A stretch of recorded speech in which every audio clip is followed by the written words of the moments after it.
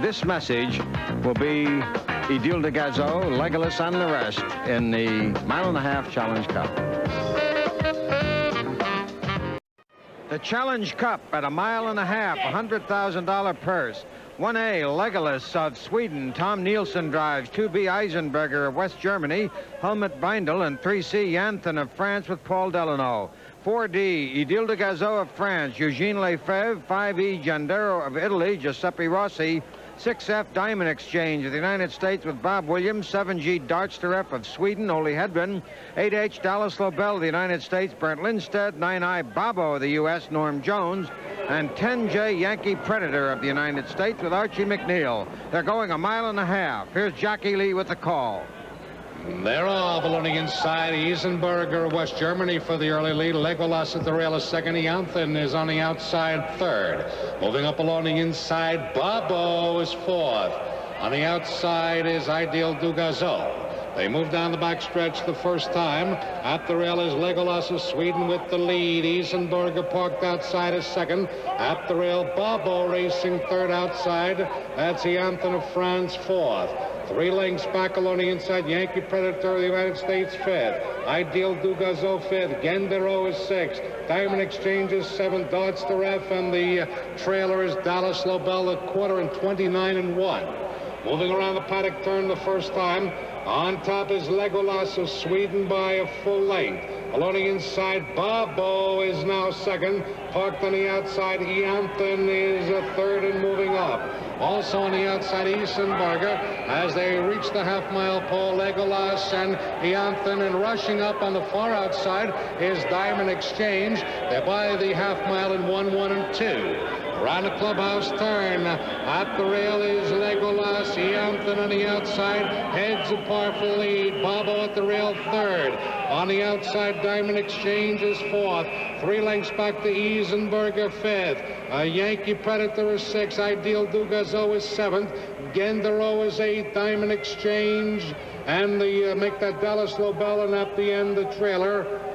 They're by the uh, three quarters and 131 and 1. Around the uh, paddock turn the second time. Yanthin of France on the outside. Legolas of Sweden at the rail. Heads apart for the lead. Diamond Exchange are rushing up now to challenge as they approach the mile mark, still with a half a mile to go. Legolas, Yanthin, and uh, Diamond Exchange on the far outside moving for the lead.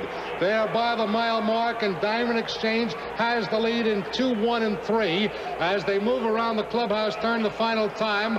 On the outside, Yanthin has come back. Legolas stays right with him. They go down the backstretch the final time. Legolas has the lead. Yanthin is second along the inside. Bobo is third. Yankee Predator has moved up fourth. Ideal du Gazeau on the far outside is fifth and on the move up. We've got four horses across the track with a quarter of a mile to go. Yankee Predator has made the front for Archie McNeil. Ideal du Gazeau on the outside is now second. Legolas back to third. The mile and a quarter and 233 and one. Around the final turn they go. Yankee Predator has the lead, but Ideal du Gazeau moves to him. They're in the stretch for the finish at the rail. Yankee Predator and Ideal du Gazeau in overdrive. He is going to win the Roosevelt Challenge Cup trot going away. Ideal du Gazeau. Under the wire, Ideal du Gazeau, driven by Eugene Lefevre, comes from way back. Big move in the final quarter. He blows Yankee Predator away a mile and one half in three minutes, three and four fifths seconds. And now Stan Bergstein will tell you all the details. The track record's 301, the world record 301 and 3 by Cash Minbar in 77. So you see it's a fast one. The mile was in 201 and 3, the mile and a quarter in 233 and 1 compared to last week's international in 235 and 2. It's Ideal de Gazeau of France, 420, 320, 220, owned by Pierre-Jean Morand of Marcy-le-Grève in France and driven by Eugene Lefevre, his trainer. In second, 10J, Yankee Predator of the United States, $6, $4, couldn't hold on.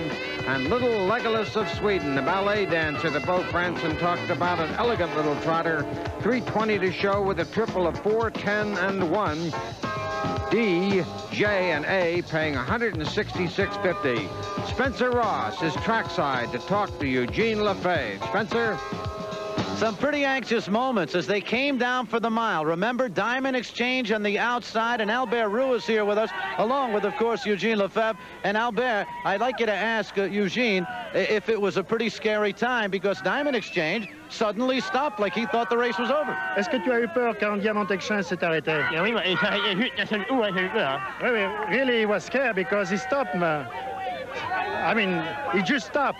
Who says horses don't have minds of their own? They usually go around only twice here at Roosevelt Raceway, and Diamond Exchange did stop. So Eugene Lefevre moved uh, Ideal de Gazeau on the outside, got clear, but when they hit the three quarters, it was not any uh, there was still a great deal of doubt involved because the Yankee Predator had the lead, and Eugene had to be worried at that point. Est-ce que tu avais peur de Yankee Predator quand il était en tête dans le dernier tournant? Euh, pas du tout, non. Non, non, no, non. he was not. Oh, he je- was very confident on his Je horse. voyais qu'il commençait à bouger les rênes, j'ai dit, ah, He, maintenant... he euh, saw that the driver was uh, shaking the the line. Does he ever get concerned? That's the question. We pick it up right here. Yankee Predator has the lead, and Ideal de Gazeau has a good couple of lengths that he has to make up. Est-ce que tu n'as jamais douté que tu allais gagner?